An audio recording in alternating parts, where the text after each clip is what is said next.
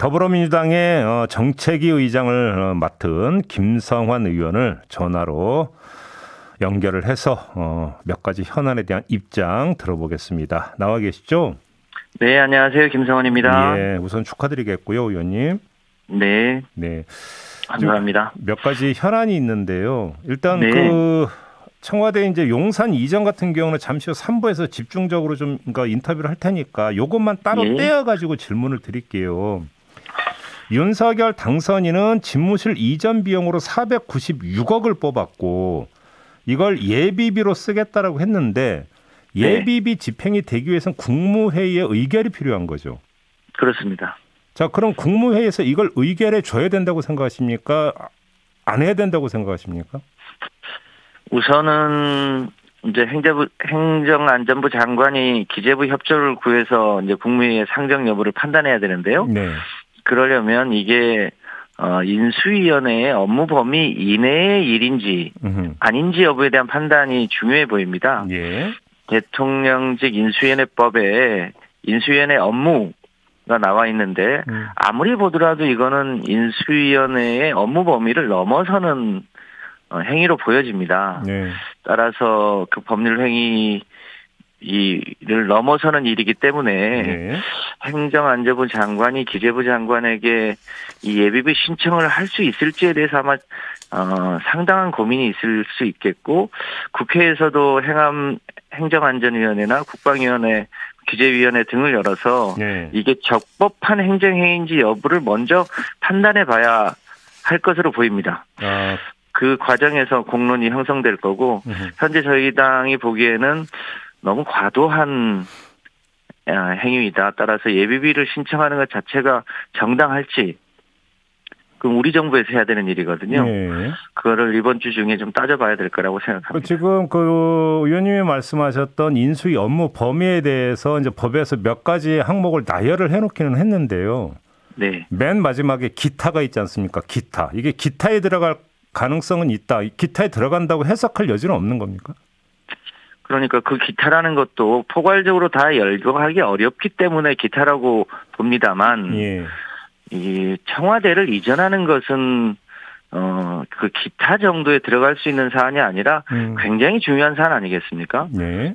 그렇기 때문에 굳이 청와대를 옮기려면 예. 어 본인이 대통령직을 수행하면서 어 연구하고 예산 편성하고 국민적 어 공감을 얻으면서 해야 되는 중차대한 사안이지 네. 인수위원회 그 기타 사항으로 뚝딱 어, 해치울 그럴 사안은 아니다라고 보여집니다. 근데 의원님, 그 현실적인 문제 하나 좀 여쭤보겠는데요. 그러면 예를 들어서 현 정부가 네. 경우에 따라서는 이 예비비를 국무회의 안건으로 올리는 것 자체를 안 할 수도 있다라는 말씀이신데 현실적으로 지금 인수인계를 해줘야 되는 현 정부 입장에서 너무 부담이 되는 거 아닙니까? 그렇게 하기가 좀 힘든 부분이 있지 않습니까? 어떻게 보십니까? 그런 것 때문에 어려움이 있는 게 사실이죠. 예, 뭐 이제 정부가 판단을 하겠습니다만 이게 예비비로 뚝딱 할 수 있는 사안인지 또 예비비 신청이 496억인데 음, 사실상 뭐 액수를 정확하게 추계하기는 어렵지만 이 각종 군 보안 장비 이전이라든가 청와대 장비 이전이라든가 예, 이게 경호 시스템도 다 바뀌는 일 아니겠습니까? 예. 그러니까 이거는 어 496억으로는 어 해결할 수 없는 거라고 보여집니다만 음, 어 액수를 떠나서 이렇게 졸속으로 해야 되는 건지에 대해서 여전히 동의하기가 쉽지 않네요. 바로 하나만 더 여쭤보겠는데요. 바로 그 지점인데 지금 국방부는 5천억이 소요된다라고 지금 보고를 했다는 보도가 있었고요. 네. 같은 당의 김병주 의원 같은 경우는 1조가 들어간다라고 또 이제 주장을 했던데 네. 496억을 넘어서 이 정도의 규모로 만약에 그 추가 예산이 투입이 돼야 된다면 이거는 예산을 다시 조정하거나 뭐 추경을 편성하거나 이래야 되는 문제잖아요. 그러면 그렇 네. 관건은 민주당한테 있다고도 볼 수가 있는데 이거에 대해서 당의 입장이 정확히 서 있어야 되는 거 아닙니까? 이게 현재 진행형으로 어 저희 입장에서는 어 윤석열 당선자 측이 주장은 하지만 결과적으로는 어 5월 9일 이후에 추진할 거라고 예상했는데 어허.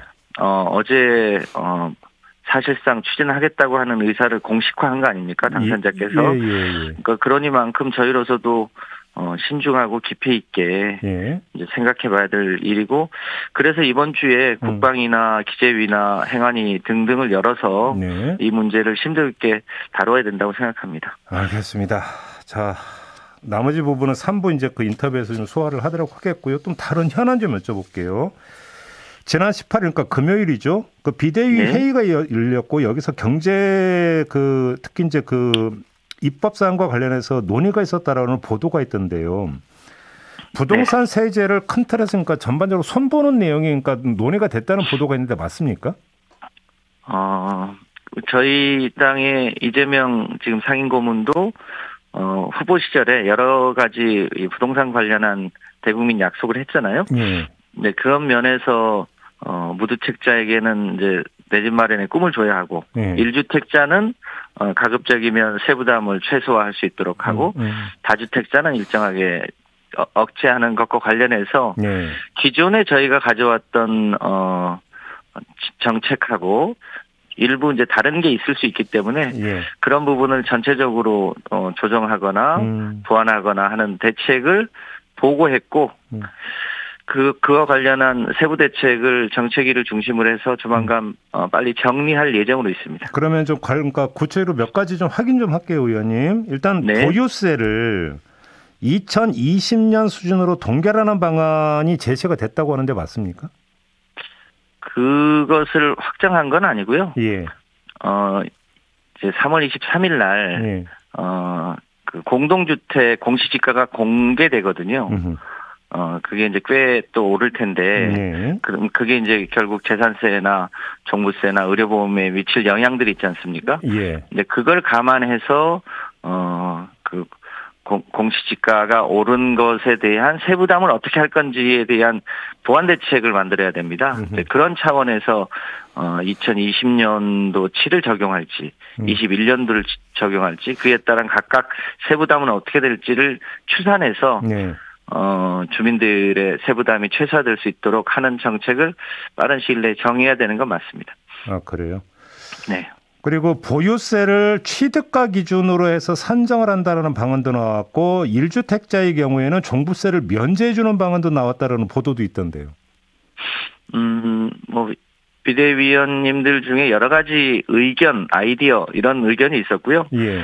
그런 내용들을 다 감안해서 예. 정책위가, 어, 국토위, 기재위, 이 의원님들, 그리고 또 전문가 의견을 드려서, 예. 어, 조만간 내용을 종합적으로 정리할 예정입니다. 그럼 아무튼 이런 방안이 나온 건 맞는 거네요, 의원님. 뭐, 뭐, 아이디어나 의견 차원에서 나왔던 건 맞는데요. 네. 당론을 아직 정해지거나, 그, 그런 방향으로 가기로 했다거나 이런 건 아직은 아닙니다. 그런 건 아니고요. 네. 그러면 예를 들어서 윤석열 당선이 대선 과정에서 내놓았던 그 부동산 관련 그 공약들 있지 않습니까? 네. 이 가운데는 국회를 거쳐가야 되는 것들도 있지 않습니까? 대부분이 입법 사안이기 때문에 예. 국회 협의를 거쳐야 합니다. 혹시 그러면 이제 그 국민의힘에서 이제 입법으로 완료하기 위해서 이제 그 뭐 이제 법안을 발의하거나 개정안을 발의하거나 할 텐데 이거에 대해서 그러니까 당 차원에서 혹시 그쭉 정리는 해보셨습니까? 이제 크게 보면 어, 다주택자들이 시장에 매물을 내놓게 하기 위한 어, 일시적 양도세를 완화하는 것 네. 이건 뭐 큰 틀에서 별 차이가 없어 보이고요. 근데 1년이냐 2년이냐의 문제는 있죠. 예, 그런 정도의 문제이고 더 본질적으로 보면 예. 어, 국민의힘은 사실상 종부세를 폐지하겠다는 입장이고 그렇죠. 예. 다주택자의 취득세를 마찬가지로 완화하겠다는 건데요. 음. 어, 저희 당에서는 사실상 다주택자의 종부세를 완화한다든지 음흠. 다주택자의 취득세를 완화하는 것은 동의하기가 쉽지 않습니다. 왜냐하면 지금 취득세가 누진적으로 설계되어 있거든요. 최근에. 아, 예. 그러니까 1주택자가 취득할 때와 2주택, 3주택 취득할 때 각각 취득세율이 다릅니다. 그래서 다주 택으로 갈수록 주택 취득이 어렵게 설계되어 있는데 음, 음. 예를 들면 이런 부분에 대해서는 저희가 어, 동의하기가 어려운 거죠. 음. 그래서 가급적이면 다주택자는 어, 이 주택의 추가 매입을 통한 불로소득을 억제하는 게 저희 당의 큰 방침이기 때문에 예. 그 다주택 소유는 억제하면서 무주택자나 일, 일주택의 부담을 줄여주는 그 음. 기조는 어, 원칙적으로 유지할 예정으로 있습니다. 혹시 임대차 3법을 좀 부분적으로 손질할 계획도 있습니까? 현재 거기까지 논의가 나가 있지는 않고요. 예. 어, 다, 그, 임대차 3법의 핵심이 이제, 어, 전세 기간을 2년에서 4년으로 연장한 거지 않습니까? 예. 그, 이제 첫 2년이 지났는데, 어, 크게 문제가 도드라진 건 아니어서, 어. 어, 그 문제는 조금 더 추이를 보면서 판단해야 될 거라고 생각합니다. 아, 왜 제가 이 질문을 드렸냐면 저희가 이제 그 지난주에 관련 토론을 했는데 네. 다주택자가 갖고 있는 그 매물을 시장에 내놓게 하기 위해서는 임대차 3법이 일부 좀 그 손질이 필요하다는 이런 주장이 나오더라고요. 어떻게 생각하세요? 그게 이제 임대 기간에 따라서 이제 매물 이제 출회 문제가 있을 수 있는데요. 그렇죠. 그 문제는 저희가 어, 별도로 예. 검토를 해서 예.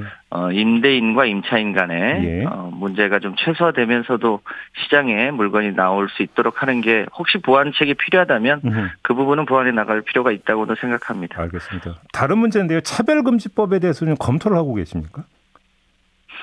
음, 그 뭐 평등법이라고도 하고 예. 저희 사회가 어, 언젠가는 이 부분을 공론화하고 예. 또 어, 사회적인 공감을 거쳐서 어, 입법을 해야 되는 거 아니겠습니까? 네네. 이게 노무현 대통령 때부터 제안이 됐던 일인데 그래서 그 문제를 계속 그 호주머니 속에 넣어놓고 있을 수만은 없기 때문에 예. 어, 법사위를 중심, 중심으로 뭐 공청회도 하고 음, 어, 의견 수렴도 하고 음. 뭐 그렇게 해야 되는 단계 아닌가 싶습니다. 아, 이제 입법 추진 단계로 넘어가야 된다 이런 말씀이시네요. 정리를 하면. 그렇습니다. 그리고 어, 윤호중 비대위원장은 새 정부 출범하기 전에 개혁 입법을 완료할 수 있다라고 하면서 검찰 개혁 관련 법안, 언론 개혁 관련 법안을 언급을 했는데요. 좀 구체적으로 이게 좀 그 당 차원에서 지금 그 가다듬고 있는 겁니까? 어떻게 되는 겁니까? 뭐 잘 아시겠습니다만 윤석열 당선자가 후보 시절에 예.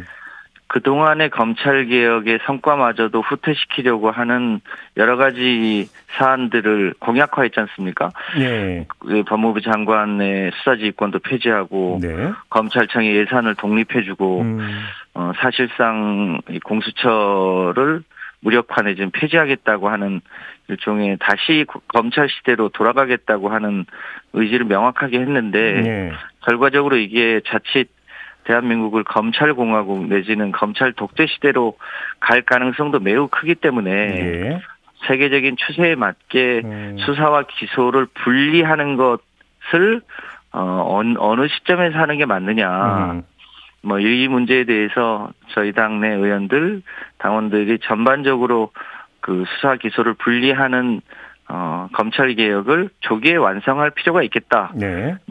어, 의지가 강하고 어제 어, 윤호중 비대위원장이 기자간담회 때도 그 의사를 어, 피력한 바 있습니다. 그래요. 언론 개혁 관련해서는요. 언론 개혁도 여러 가지 숙제들이 있는데 특히 어, 포탈의 뉴스, 뉴스 편집권이라든가 네. 어, 1인 미디어의 가짜 뉴스를 막는 문제라든가 또 기존에 지금 어, 언론개혁 특위에 놓여 있는 몇 가지 사안들에 음, 대해서 좀 조속하게 추진할 필요가 있겠다. 음. 그거 보고 있어서 그 가급적이면 속도를 낼 예정입니다. 그래서 윤석열 당선인이나 인수위 안팎에서는 그 특히 이제 공영방송 구조 문제를 이제 많이 거론을 해 왔는데요. 혹시 이것도 그러니까 논의에 올릴 수 있다는 입장이십니까? 어, 문재인 정부 임기 중에 어디까지 우리가 해결할 수 있겠냐에 음. 대해서는 어, 그 전체를 다 올리긴 어렵겠습니다만 예. 어, 뭐 최대한 빨리 이, 이 처리해서 음. 어, 가급적 어, 언론과 관련한 여러 가지 공정성의 시비가 될 수 있는 사안들에 대해서는 어, 좀 투명하게 또 더 민주적으로 할 수 있는 한 최대한 해야 된다고 생각합니다. 알겠습니다. 자 말씀 여기까지 드릴게요. 고맙습니다. 네, 감사합니다. 네, 지금까지 김성환 더불어민주당 신임 정책위 의장이었습니다.